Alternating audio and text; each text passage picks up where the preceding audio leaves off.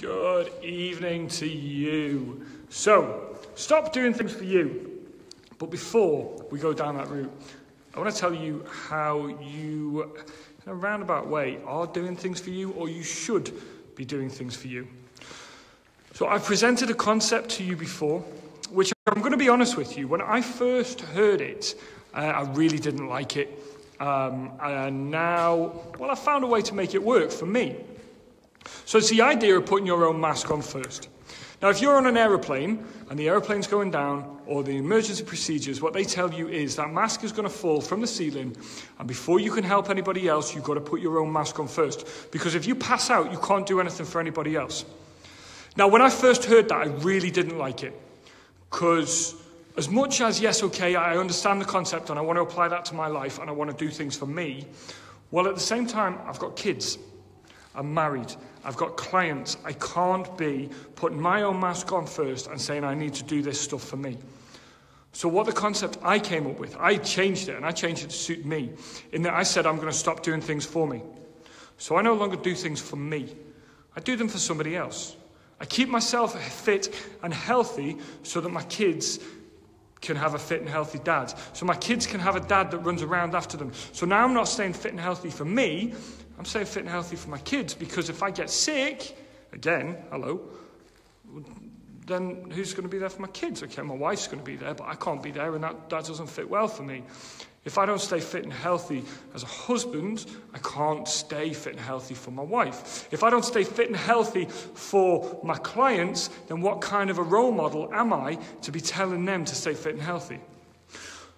So, for you, you might need to implement this same thinking into your life. In that you stop getting, trying to get fit, trying to get fit, hello, trying to lose weight for you, trying to do things for you, and then failing because somebody else needs you and they take your priority in that moment.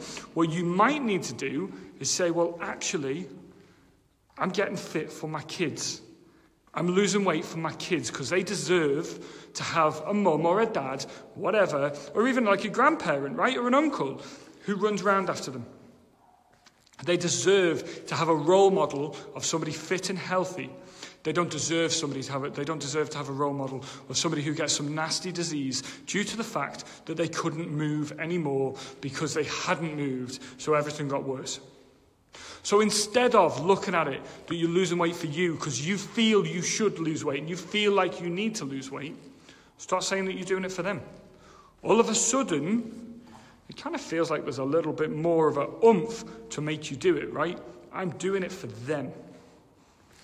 Food for thought. It's, a, it's an evening thought. I'm feeling a little bit ranty. If that's hit home, if that's hurt anybody particularly, if it's triggered you, uh, then I'm fingers crossed it's triggered you to actually go and make a positive change, to actually plan and most importantly implement a change in your life that means that you can be around as a, as a healthier person, as a stronger person, and as a more well rounded, both physically and most importantly mentally, rounded person for the people around you in your life, that you can be stronger, you can be more productive during your workday, you can less likely to have a breakdown during your workday, and especially if you're a parent, you know, it's that you're going to be there, you're going to see your kids through, you're going to be the, the parent that they deserve to have because you looked after you, because you showed them that staying fit and healthy was an important thing to do, and therefore they actually you've set them up for life because you've taught them that being fit and healthy, they're going to do it for their entire life as well.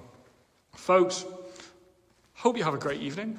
I'm going to go home and have some dinner because I'm hungry. But my workouts are done, my clients are finished for the day, and therefore, so am I. Toodle pip!